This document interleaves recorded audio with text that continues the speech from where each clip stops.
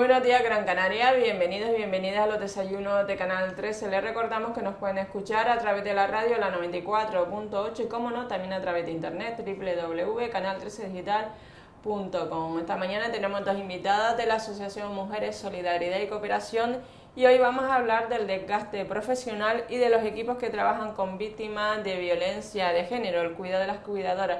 Vamos a dar paso a la presentación de las compañeras que están hoy con nosotros, que son por un lado Gabriela Núñez, psicóloga. Muy, buenos días, Gabriela, bienvenida. Buenos días, María.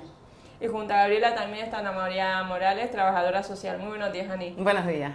Hoy vamos a hablar entonces del desgaste profesional y de los equipos que trabajan con víctimas de violencia de género el cuidado de las cuidadoras. ¿Por qué habéis elegido este tema?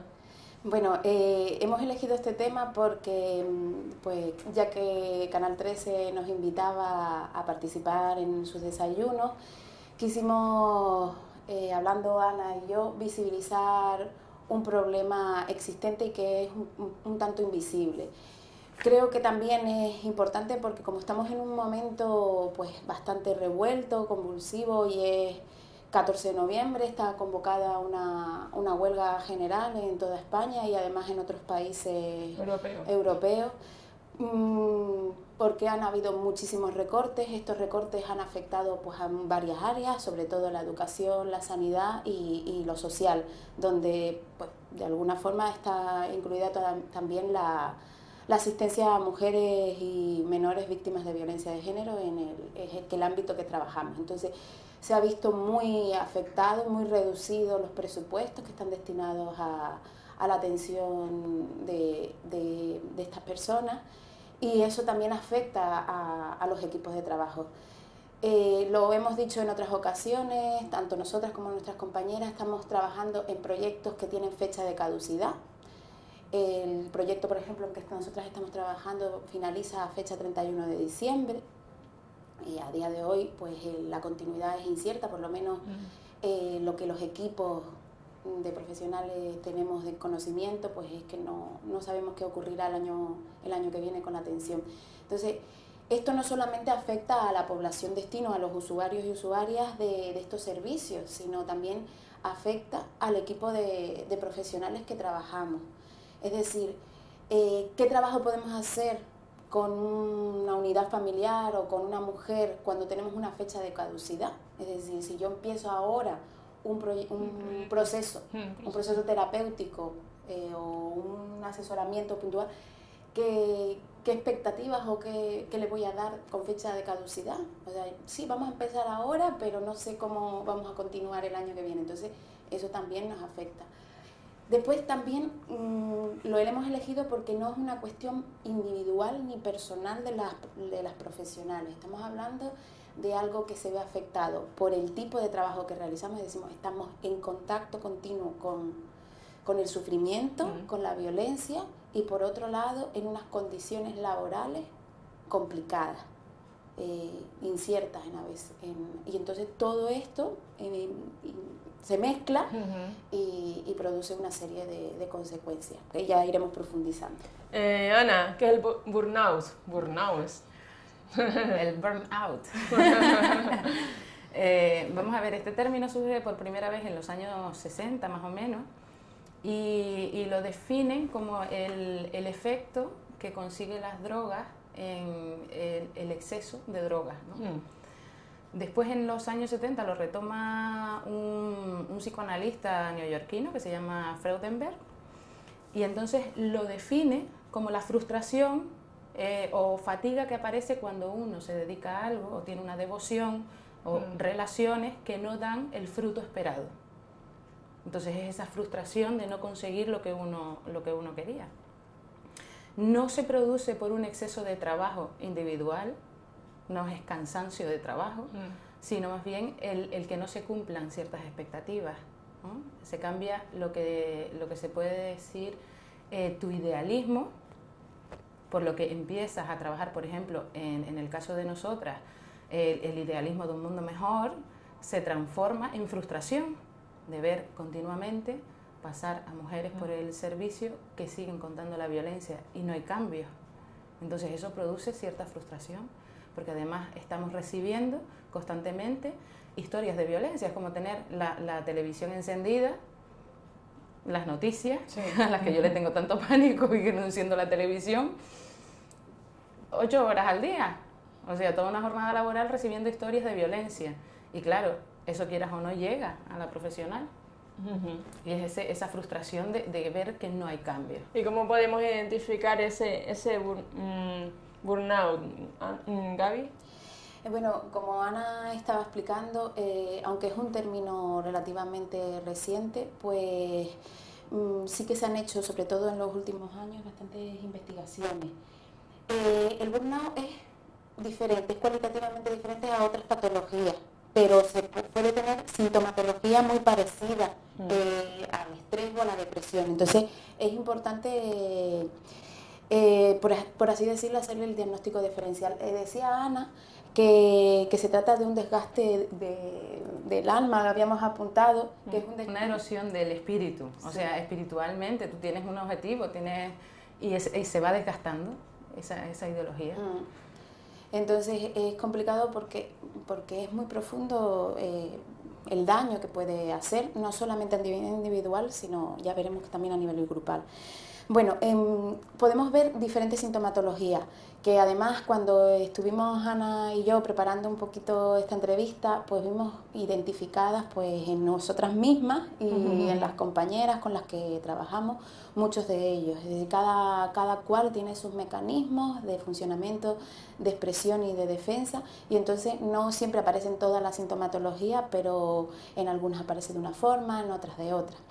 En principio, la sintomatología más psicológica, pues cansancio, pero incluso mayor del esperado, fatiga, lentitud, eh, dolores de cabeza, de cuello, musculares, problemas del aparato digestivo, eh, problemas mm, también de, la piel, urticarias, eczema, psoriasis. En general, la persona se vuelve más vulnerable a, cualquier tipo de enfermedad. Después también había problemas conductuales como por ejemplo llegar tarde al trabajo, el absentismo eh, laboral. No tener ganas de levantarte de la cama, eh, ser una pesadez el ir a trabajar. Eh, que además que se pueden... Aquí la, la, ay, perdón, la idea es diferenciarlo de un problema individual. Esto es un problema que hay que analizarlo en conjunto, ¿vale? Porque yo quiero evitar el riesgo que puede ser decir, ah, bueno, porque esa profesional no es profesional. Ese es uno de, las características más importantes que quiero destacar. No es un problema. Cualquier persona que se ve en esta situación puede aparecer estos síntomas. Después, eh, otros síntomas más relacionales, pues la irritabilidad, mm, discusiones con compañeros y compañeras de trabajo, aislamiento. Es decir, es muy importante en nuestro trabajo que sea un trabajo integral. Entonces, mm, al final acabamos que cada uno hace lo suyo y al final y eso va a afectar, sí, va a afectar a que no se pueda dar una, respuesta integral. Mm, en algunos casos, no es en el nuestro, se puede dar el abuso de drogas, de alcohol o de medicamentos para evitar el sufrimiento, para evitar el dolor. Eh, Pero no es, e, no es estrés, ¿no? No es estrés o ansiedad. Sea, engloba más, ¿no? Sí, porque estos, estos son los síntomas individuales, que después también hay síntomas psicológicos que también nos estuvimos comentando Ana y yo, pues bajo autoconcepto, baja autoestima laboral. Y cuestionar tu vocación, ¿para qué estudié yo esto? Yo no sirvo para esto, te cuestionas como persona, te cuestionas como profesional, pero porque llegas a un nivel de saturación que es que te anula como persona de alguna manera o de alguna manera empiezas a sentir rechazo hacia, hacia, los, hacia los relatos de las mujeres. Y entonces te empiezas a cuestionar como profesional. Pero esto es la temática que tratamos, no es, no es que profesionalmente no tengamos valía. Sí, Pero hay que saberlo identificar porque, claro, entonces una tiende a castigarse un poco. Como, como apunta Ana, es, un, es una, una cuestión que pasa de, de, lo psicológico, ¿vale? de lo simplemente individual. Es mucho más allá, se, produce un cuestionamiento, incluso eh, se puede llegar a cuestionar mm, el futuro, es decir, se puede llegar a un momento de decir, no, yo tengo que dejar este trabajo, tengo que cambiar de trabajo, yo no sirvo para este trabajo. y, eso desmorona toda una trayectoria profesional que, tienen eh, las profesionales que trabajan en este campo. Pero después la diferencia, el diagnóstico diferencial con un estrés o una depresión como tal, sería que también afecta al grupo de trabajo. Mm. Se, producen problemas en el, grupo de trabajo, dificultades de comunicación, em, em, se puede, por ejemplo, pues también eh, dificultades a la hora de dar respuesta a las usuarias, se puede intentar dar una respuesta demasiado rápida, se pueden poner etiquetas y, dejar de dar una respuesta, se pueden producir errores en la intervención, que eso es, incluso pues peligroso no solamente para mm. no solamente para nosotras sino también para las usuarias a las que estamos atendiendo. Eh, hostilidad enfado eh, frustración mm, la verdad que es un cuadro bastante bastante complicado otro tema importante, o sea, supongo que esta temática despierta el interés e identificación de los y las profesionales que nos están viendo o nos están escuchando a través también de la radio o de internet. Podríamos profundizar un poquito más en el tema, por ejemplo, de la contaminación temática. Ana, contaminación temática. Vale, contaminación temática. Te, lo voy, a, te voy a hacer un símil. Nosotras somos como esos recipientes con energía radioactiva que intentan meterlos en el fondo del mar, por desgracia, o los entierran. Pues nosotros somos esos recipientes. O sea, constantemente, todos los días, estamos recibiendo información que es tóxica, es, es altamente contaminante. ¿Por qué? Porque todos los días son experiencias de mujeres dentro de sus casas, con violencia, que no solamente escucharle pasa esto en mi casa y ya está, sino que la mujer entra en un proceso donde te cuenta sus emociones, sus dolores, todo lo que se le cuestiona en la vida. ¿eh? Se, se, mm. tambalea todos sus cimientos, toda, su, su, vida, a lo que se ha dedicado, el intentar conseguir una familia que la mantiene ahí, todos esos dolores, el, el castigo que recibe. Nosotros recibimos esa información a diario. Entonces somos como por los contenedores estos, ¿no? Mm. Somos explosivas. a eso se refiere contenedores tóxicas. Sí. Contenedoras tóxicas. Eso a, eso se refiere la contaminación temática. ¿Qué ocurre? Estamos tan contaminadas por la temática que llevamos en nuestro trabajo, que es la violencia, básicamente, a, a, los, a los y las menores y a las mujeres, que eso crea trauma, trauma a nivel individual, que se le llamaría traumatización vicaria, que es el efecto que producen todas esas historias en síntomas en nosotras, o sea, lo tienen las víctimas y nosotras absorbemos esos mm. síntomas y esos sufrimientos y los generamos dentro de nosotras. De alguna manera empezamos a tener relaciones con, con, esa base. De alguna manera te está viniendo siempre la información de un abusador, de una abusada. La traumatización vicaria es mm que la propia profesional empiece a, sentir síntomas eh, similares a los del estrés postraumático de, de, la persona a la que está atendiendo.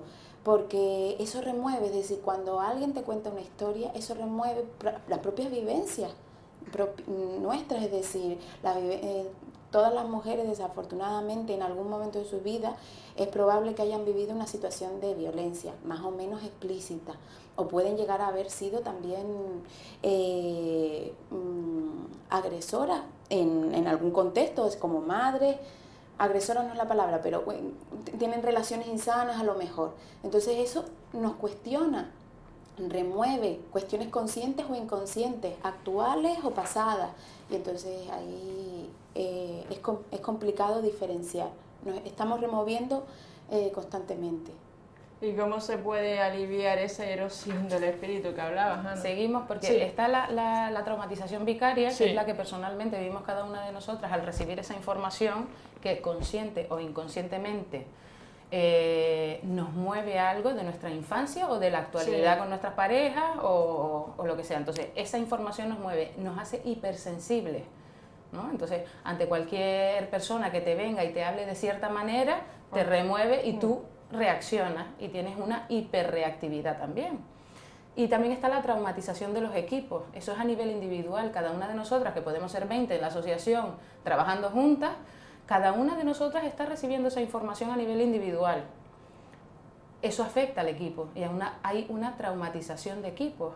Entonces, todos los relatos son víctimas, abusadores y después estamos nosotras que somos las contenedoras de esa información, que a veces tenemos que guardar el silencio de esa, de esa información porque la señora no se ha atrevido a denunciar, porque no quiere y no está en el momento y tenemos que respetar su proceso y nosotras vamos guardando, de alguna manera, estamos siendo las que recibimos esa información y tenemos que guardar ese silencio. Eso, quieras o no, pues lo que decía Gabriela, nos remueve internamente y nos, va dando información día a día de este triángulo, ¿no? el, abusador, la víctima y nosotras, que somos las silenciadoras. Esto de alguna manera lo llevamos al equipo porque son las maneras de funcionamiento de las historias que nos llegan. ¿Y a tu caso? Claro, entonces, sobre todo en el trabajo, porque todas y cada una de nosotras está recibiendo ese modelo. Entonces, ¿qué pasa en el equipo? Que tú estás recibiendo ese modelo constantemente día a día y entre nosotras de alguna manera formamos ese modelo también. Entonces tendemos sobre todo a sentirnos víctimas y sentir a la, compañera, a la compañera una abusadora. Entonces nos maquinamos para hacer equipos, eh, rechazamos a ciertas personas porque es el, esquema que tenemos y con el que trabajamos. Entonces entre nosotras se van montando mm, pues, unas relaciones que son bastante dañinas para el equipo. ¿Qué, ¿Qué pasa? Es importante que haya un espacio donde tratar esos traumas, son traumas de equipo. Lo que estábamos hablando del burnout es que no es estrés individual de una persona, es un trauma de equipo, donde tiene que haber un espacio de psicoterapia para el equipo. Y es importante, esos son los dos traumas que, producen la contaminación temática. E, esa es la, el cuide de la cuestión, o sea, la, la, parte importante, es decir, no se trata de un problema individual que se solucione con psicoterapia individual, porque si eso ha afectado al equipo de trabajo, se tiene, tiene que haber un abordaje de equipo. Siempre tiene que haber una intervención del equipo de trabajo. Y esa es la, la, nota diferencial con otro tipo de, de, problemas.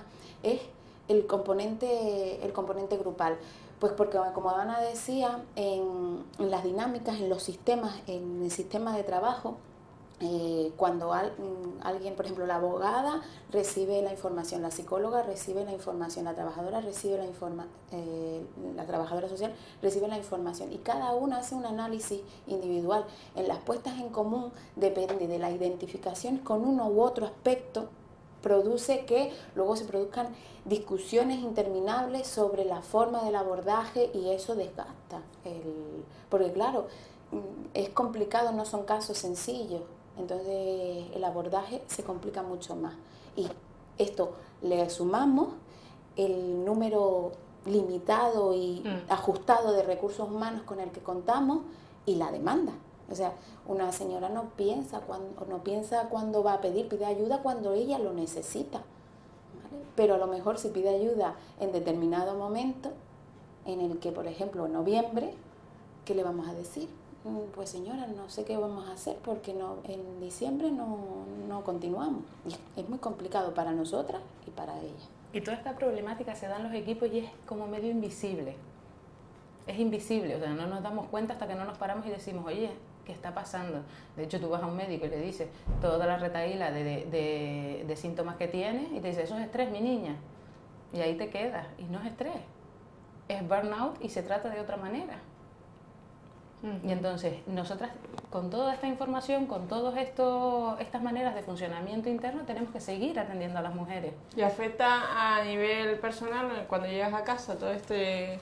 Claro, evidentemente a ti te está removiendo tus simientes también todas estas historias. Todos, tu, pues, eh, todos tenemos algo en la infancia que contar, ¿no? O, o actualmente. Entonces todo eso se te va removiendo emocionalmente, te toca cada una de las historias. Hay lo hablaremos más adelante, ¿no? Hay, hay formas de, de, intentar aliviar estos síntomas. Sí, era la pregunta que iba a hacer ahora Ana y Gaby. ¿Qué respuestas se podrían dar a esta problemática? ¿En qué niveles? ¿A nivel individual, por ejemplo? ¿A nivel de profesión? A ver, eh, no queremos ser pesimistas, aunque parezcan un poco pesimistas hoy. Eh, la, la, idea de, de traer este tema hoy al desayuno era la esperanza también que, que haya solución. Pero como antes aportaba Ana, mm, no nos podemos quedar con una solución individual, sino que también tiene que ser una, una solución en la que se, de alguna forma se, se meta también lo, el sistema, la empresa, las entidades de quien dependemos. Es, complicado en el momento en el que estamos, pero esa es la solución ideal. A lo mejor una persona que, que se dé cuenta que se encuentra mal, pues va al médico, a la médica, le comenta, dice usted lo que tiene es estrés, tome una baja, descansa un par de días en casa. Pues a lo mejor va, descansa, se parece, se, siente mejor, eh, ha dormido, ha relajado, ha colocado, pero llega al puesto de trabajo, a un grupo, a un sistema, a un equipo que está quemado. no le vamos a dar mucho tiempo para que vuelva a las mismas dinámicas de funcionamiento. Este estrés no se cura con unas vacaciones, no se cura. O sea, puedes mm, estar un mes y medio de vacaciones que cuando vuelves otra vez al puesto de trabajo y ves cómo se repiten las dinámicas internamente, inconscientemente, tú no sabes que estás quemada y que tienes el síndrome de la quemada, pero llegas y caes otra vez. Caes otra vez en, como si no hubieras cogido vacaciones, porque realmente no es una cuestión de vacaciones, es, una cuestión de trabajar el trauma del equipo. Además, es importante que se entienda que tenemos que ser tratados como un equipo de riesgo, es decir, antes utilizábamos el de ser unos recipientes con que recibimos sufrimiento, violencia, esas historias se van acumulando, entonces tenemos que ser tratados como un equipo que está en una situación de riesgo y entonces como, como quien está en un andamio no va a subirse al andamio sin su casco, sin su arnés, sin las cuerdas, pues nosotras tenemos que ser conscientes que cuando estamos vamos a entrar a trabajar en una situación de riesgo, porque estamos en contacto con un tóxico que es las historias de violencia, tenemos que tomar unas medidas preventiva a nivel individual, pero también a nivel grupal. Y como la ley de prevención dice, esa, esa responsabilidad es de, la empresa, de la entidad, la que tiene que facilitar los, los EPI, no me acuerdo cómo se, sé que se llaman EPI, pero ahora mismo no me acuerdo, para, para prevenir, ¿vale? Hay una parte, como tú antes nos preguntabas si era a nivel individual, es decir, cada profesional tiene que eh, intentar hacer hacer algo por sí misma, ¿vale? Por cuidarse, eso es importante, pero también hay un nivel grupal que, que tenemos que, que, demandar.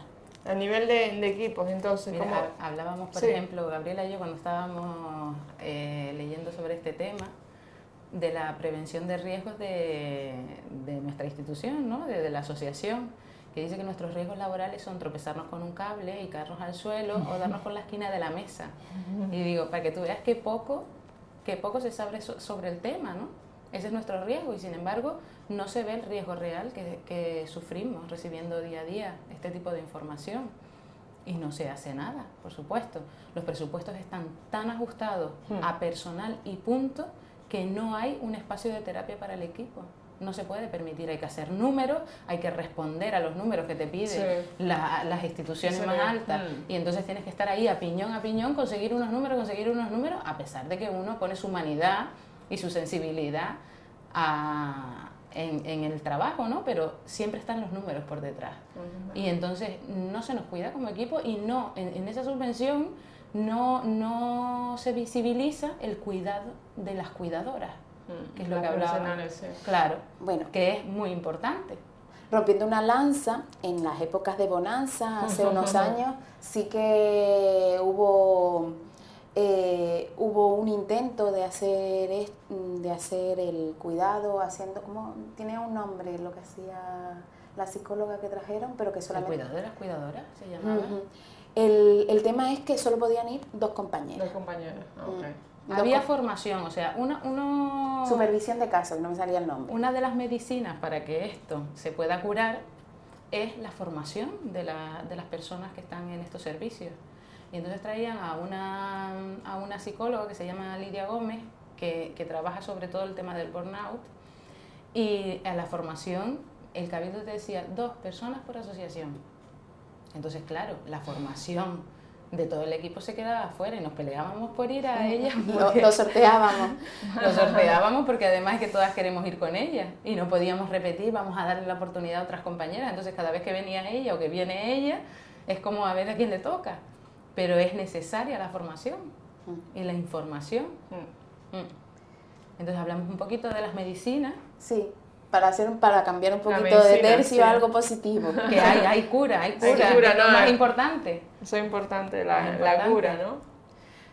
Pues las curas están a nivel individual, a nivel de equipo y a nivel institucional o red de... Perdona Ana, ¿ustedes a partir de cuándo, o sea, ustedes han, han visto que cada vez están más quemadas o realmente a medida que hay más trabajo, realmente se va acentuando cada, cada, cada tema. Mira, este año lo hemos notado sobre todo por las condiciones de trabajo que hemos tenido. Entonces, sí, respecto al año pasado. Claro, ha explotado. Todos los años se nos acaba el contrato el 31 de diciembre.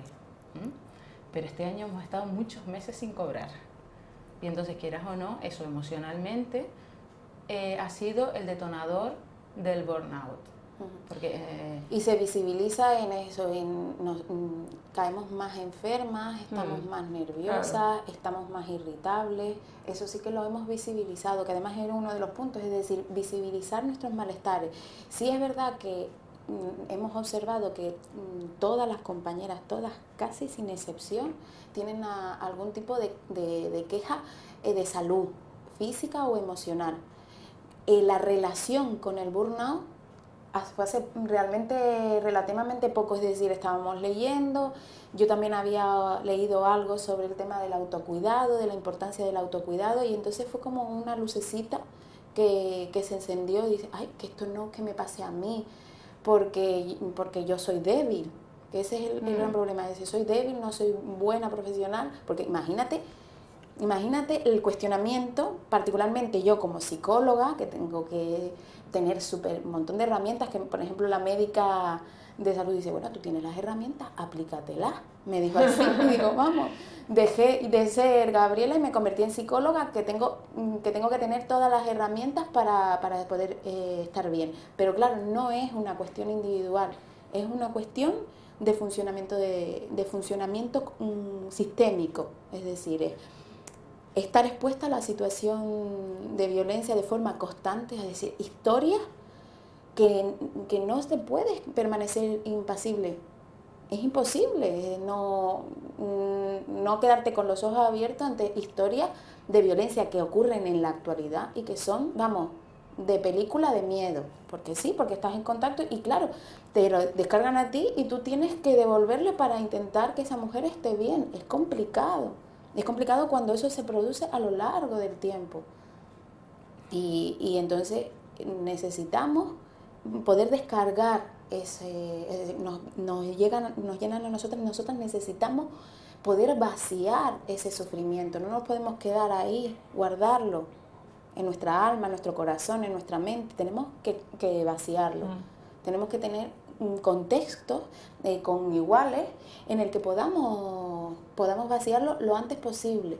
Yo mm, particularmente yo tengo casos en el que yo a veces en las reuniones de coordinación les pido a las compañeras, digo, es que necesito compartirlo sin violentar la intimidad de, la, de, las, de las usuarias, sí que necesito desahogarme de cosas que están ocurriendo y que yo no puedo dejar.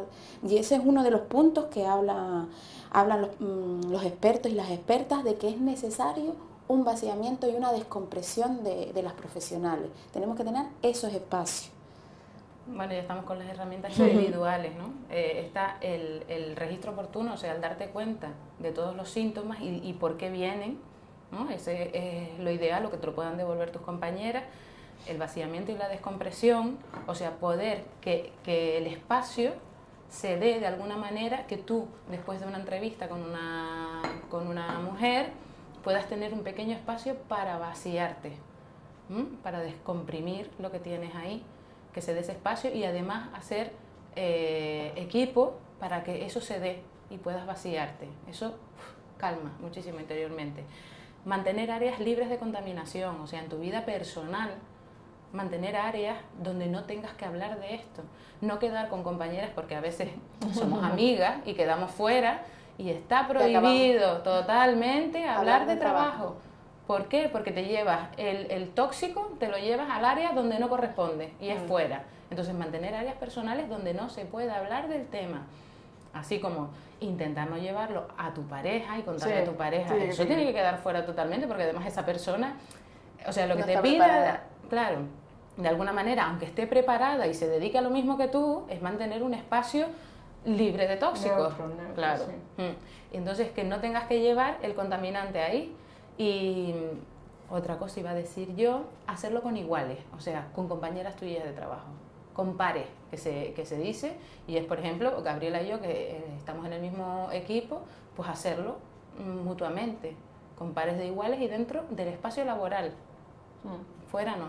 Después uno que a mí me llamó mucho la atención era la de, no, mm, ¿cómo era?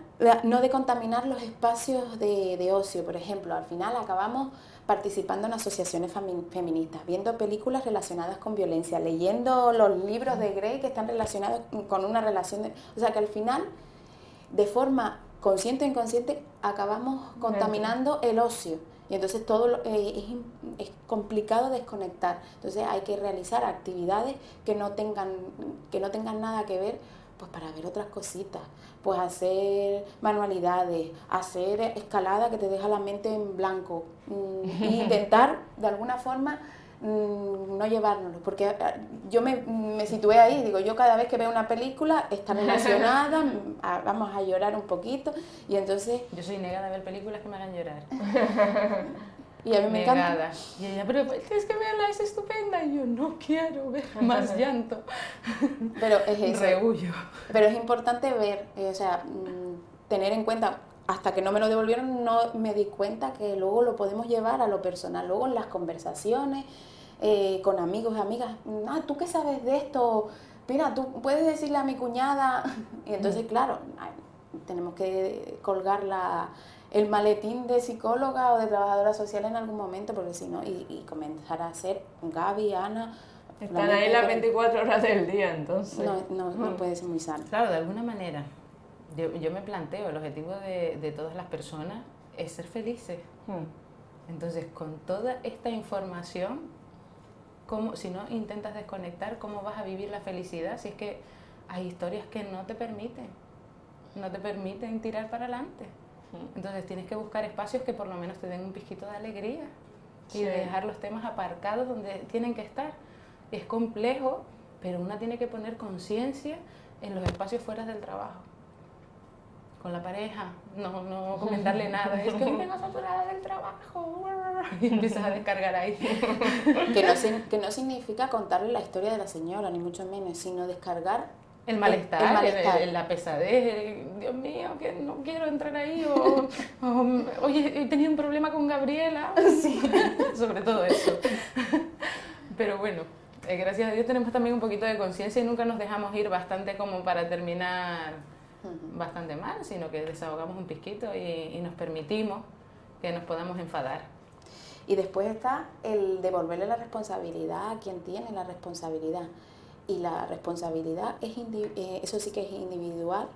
En el proceso de recuperación, cada cual tiene su responsabilidad, porque a veces nos generamos nosotras una serie de expectativas con respecto a la usuaria o con respecto a, a la unidad familiar, pues tiene que divorciarse, tiene que... Lo tenemos todo planificado y tenemos los objetivos, y a lo mejor no son los objetivos que, que ella busca o, o los ritmos que ella necesita.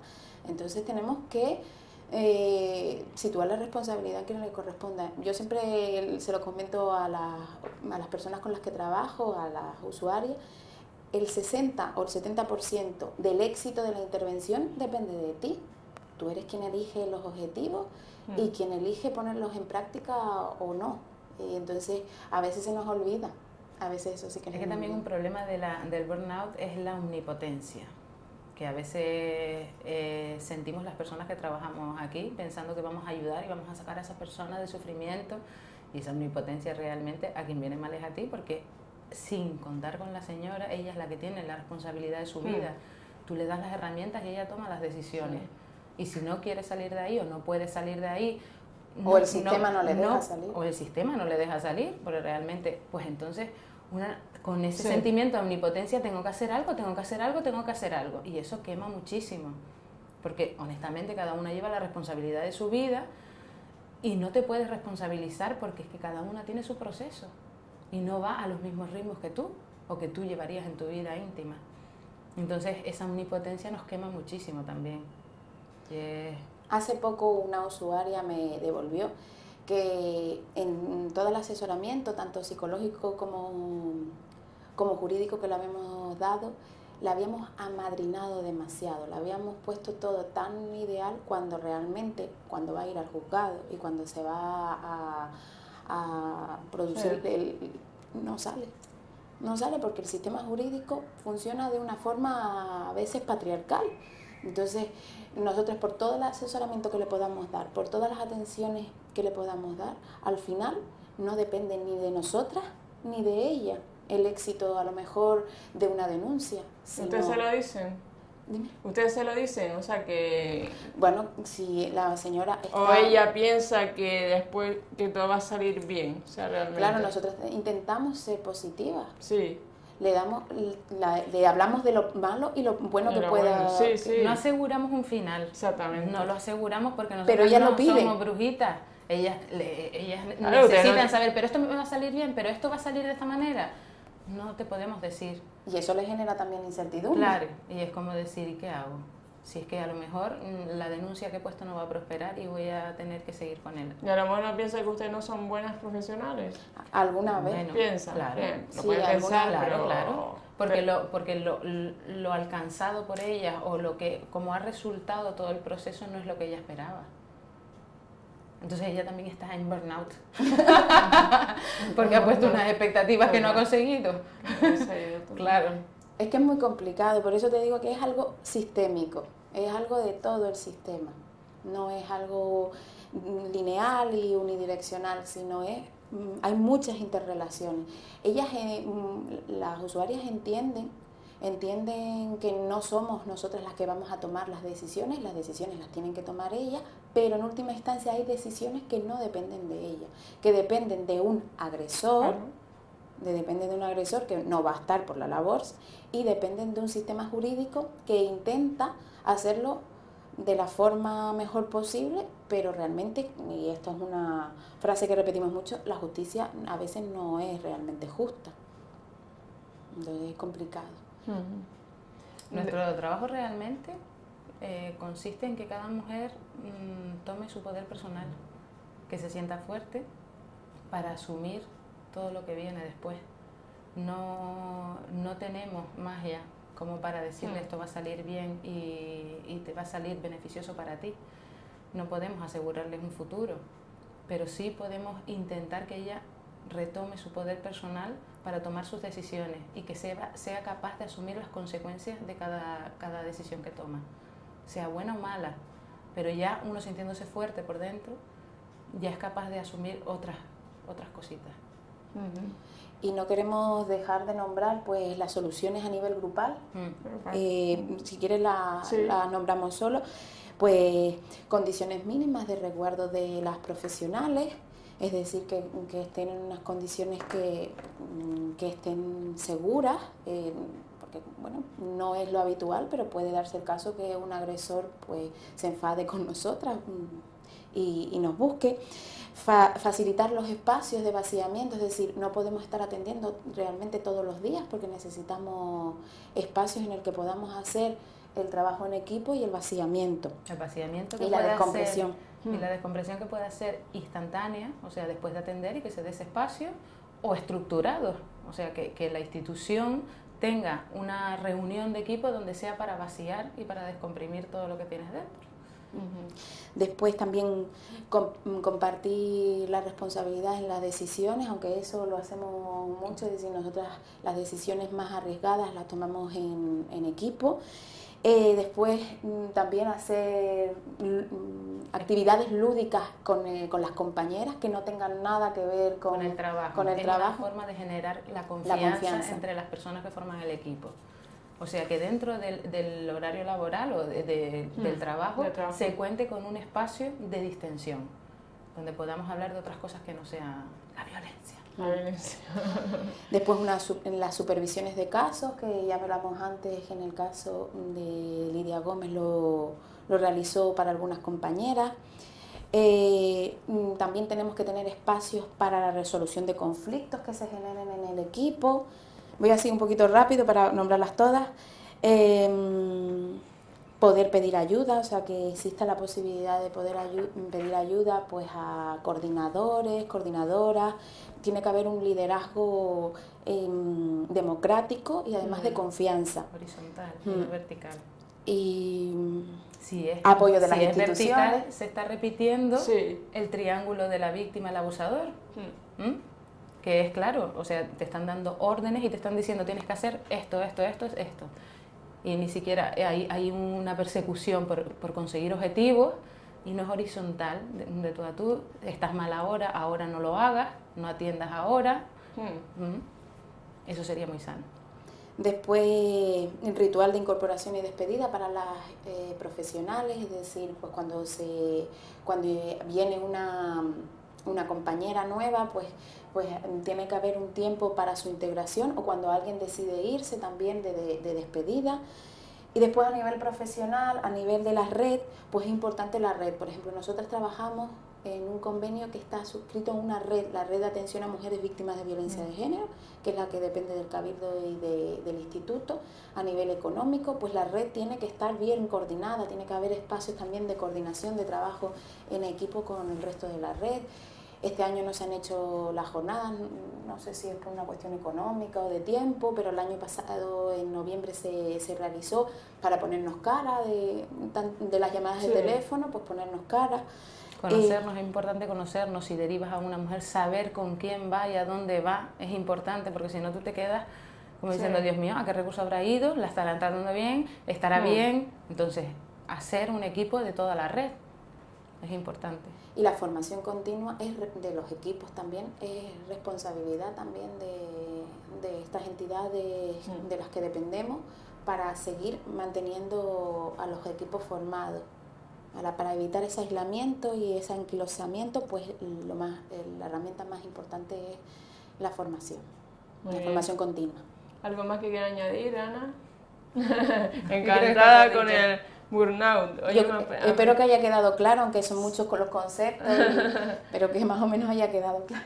Muy bien, de todas maneras también recordar que el próximo domingo, no este, sino el próximo día 25 de noviembre, el Día Internacional de la Violencia de Género, ojalá que, haya un año que no, podamos, que no celebremos este, ese día, ¿no? Porque no, no, se celebra nada, sino se celebra que cada vez hay más muertes, menos recursos y mm. todo el tema. Es un día más reivindicativo. Sí. Este año las asociaciones han convocado la manifestación como es un domingo, pues es por la mañana a las 12 y será creo que es por esta zona ahora mismo sí ya por la zona del puerto. ya se anunciará. Sé que también ustedes van a estar creo que en el municipio de la Villa de Agüim es un municipio también que se involucra mucho con el tema de, de todo violencia de género es un municipio bastante bastante reivindicativo en todos los aspectos no solamente a nivel institucional, sino a nivel de que se hacen muchas cosas en favor de, de los más desfavorecidos, de las mujeres y sobre todo de, las personas que menos tienen. Gracias Gabriela Núñez por estar aquí, gracias Ana María Morales por estar aquí, psicóloga y trabajadora social de la Asociación Mujeres Solidaridad y Cooperación. Recuerden que hoy hemos hablado del, del desgaste profesional y de los equipos que trabajan con víctimas de violencia de género, el cuidado de las cuidadoras. Que tengan un feliz día, muy buenos días Gran Canaria.